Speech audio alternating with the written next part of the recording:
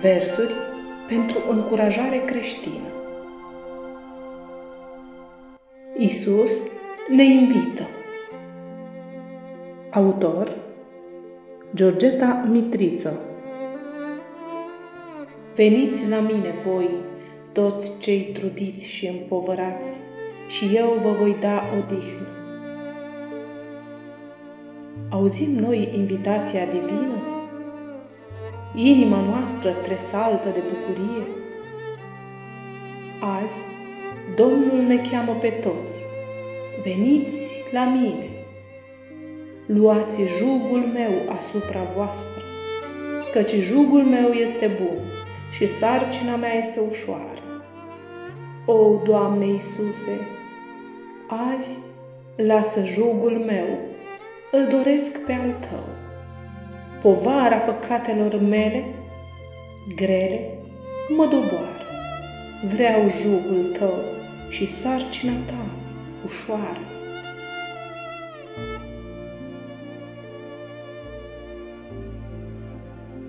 Se apropie se apropie timpul, se apropie conflictul, lupta dintre bine și rău este gata să apară. Apare criza finală. Biserica militantă este chemată să treacă probele, suferințele, încercările. Să ne rugăm cu stăruință. Doar Isus, Hristos, ne dă puteri pâine în necaz, apă în strâmtoare. Vom avea, da, mare ne fie încrederea. Să ne rugăm cu stăruință. Domnul Isus ne dă biruință.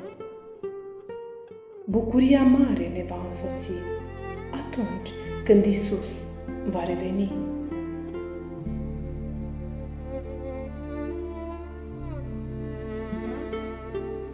probarea credinței. Vom fi probați, încercați. Este nevoie de credință mare. Doar credința mare va trece proba de încercare. Să avem în noi credință vie, nu doar formă de evlavie. Pocăința adevărată este necesară să trecem proba finală. În curând, Isus va reveni. Vom fi cu El în veșnicii. Ne vom bucura și suferința vom uita.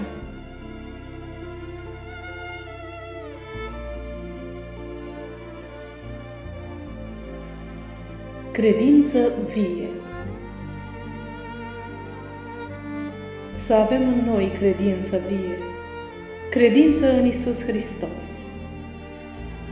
Caracterul lui frumos, sădit în noi să fie, este prețios. Să fim asemenea lui în iertare, în dragoste și în purtare. Credința vie în noi să învie. Spiritul lui Hristos este prețios. Să flămânzim după adevăr adevărul curat și sfânt, să fim canale de lumină pe pământ, lucrătorii Domnului Isus să fim, oamenii să îi iubim și în sfințire să trăim.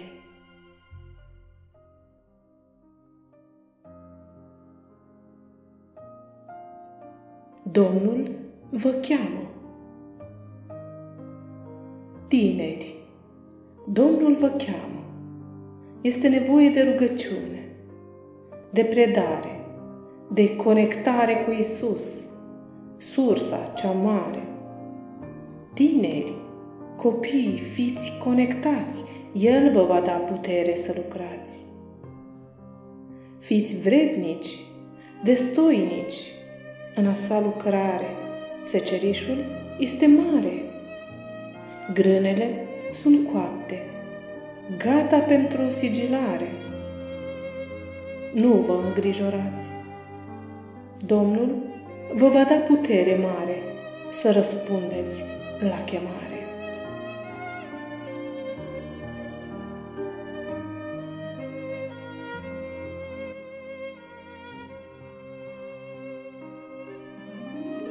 Un îndemn.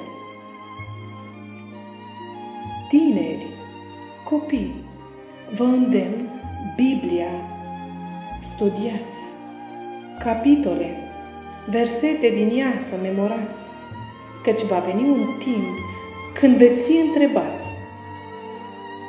Voi să răspundeți cu putere, dar neînfricați, stă scris. Așa ne-a învățat Domnul Isus.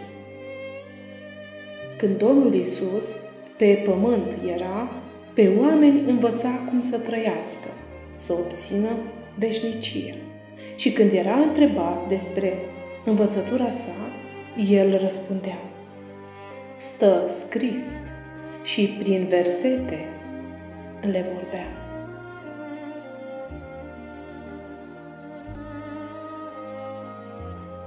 Eu, tu, suntem o ramură. Eu, tu, suntem o ramură din iubirea divină. Suntem rodul iubirii scoși din mâna sa străpunsă de iubire plină. Suflare de viață sfântă avem în noi. Suntem prețioși. Suntem ale Domnului comori. Sânge sfânt, nevinovat, pentru noi a fost vărsat. Am fost răscumpărați, suntem salvați. Răscumpărătorul? Isus, Domnul, Salvatorul.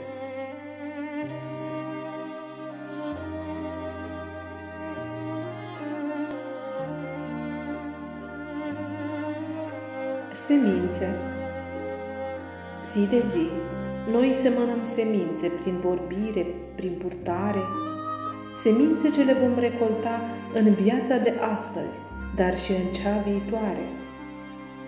Cuvintele frumoase, plăcute, pline de bunătate, găsesc teren în minte, aduc roade bogate. Cuvintele seci, aspre, necugetate, lipsite de bunătate, aduc roade după soiul lor. Se vor vedea în viitor. Să semănăm cuvinte blânde, asemenea lui Hristos. Vor aduce roade bogate.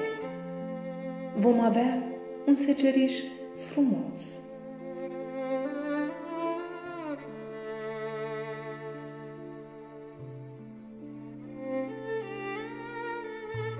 Mândria Mândria este un mare păcat, fără asemănare, nu prea luată în seamă, de parcă n-ar exista. De te afunzi în ea, te mândrești cu tine, cu înțelepciunea ta și uiți de Dumnezeu, a toate creator, a toate dătător, înțelepciunea nu ți-o atribui ție.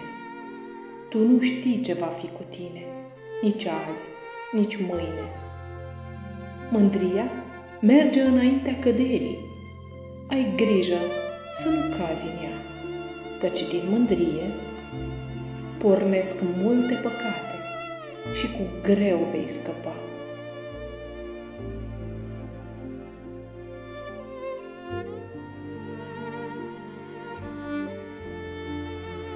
Cernerea suntem ceruți de cel rău, să fim cernuți, loviți, zdruncinați, când într-o parte, când în alta și amețiți. Cădem, ne ridicăm, apoi strigăm, Doamne, ce ne facem? Nu mai putem. Isus cu milă ne privește, cu vocea dulce ne șoptește. Nu cedați, răbdați, rezistați. El, pe cruce, nu a cedat, a răbdat, a rezistat. Biruința a câștigat. cernerea cea mare, curând va apărea. Trecem prin proba finală. Zgura din noi să dispară, să rămână în noi credință curată, vie, ca aurul curat. Cu bucurie să așteptăm pe Isus al nostru împărat.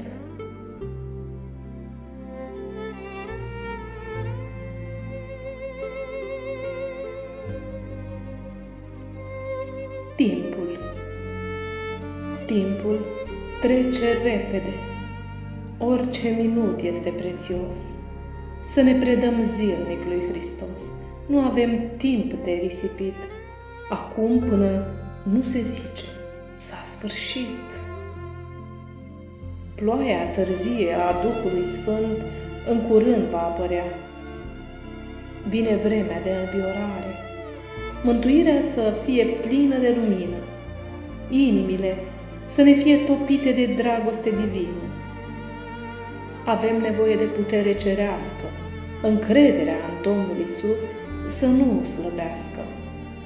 Doar în El găsim pace, putere, tărie, să fim pregătiți pentru ploaia târzie. În curând, Isus va reveni. Pe nori îl vom zări, cu îngeri mii și mii și oricine îl va vedea venind în slava sa. Ce eveniment frumos! Ce eveniment spectaculos! Istoria planetei Pământ se va sfârși în curând. Făgăduințele scumpe, scrise într-o carte, se vor împlini cu exactitate. În curând, în curând, pe Isus îl vom vedea cu ochii ațintiți spre cer, de bucurie, vom striga. Glorie, glorie, aleluia!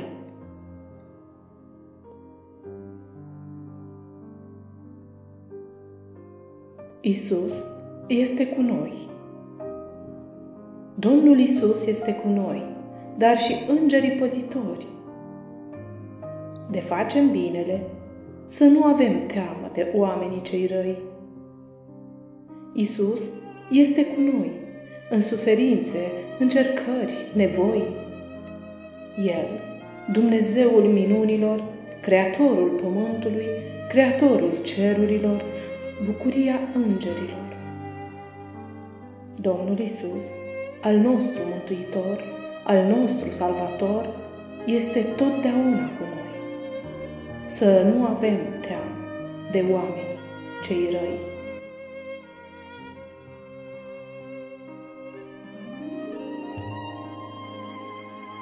Vacanța cea mare Ne așteaptă o vacanță frumoasă, vacanța din ceruri, plină de bucurii. Când Domnul Isus va reveni, vom merge acasă, în patria noastră cerească ne vom odihni, vom vizita planete, galaxii și fericirea ne va însoți. Vacanța cea mare, frumoasă, ne așteaptă. Cu împăratul slavei vom sta la masă. El ne va servi. Bucuria veșnică ne va însoți.